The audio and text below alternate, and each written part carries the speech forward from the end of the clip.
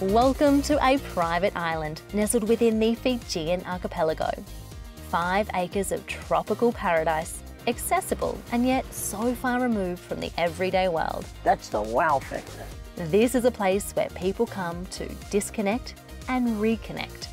Today, we'll meet the owners of this unique island, It's a little five acre paradise that we fell in love with. be guided around the local food market, This is our garden, Toberua's garden. It can't be more fresh than this. stay in a luxurious Fijian bure, and experience cultural performances. I'm your host, Amber Wyatt, and this is Tombarua Island.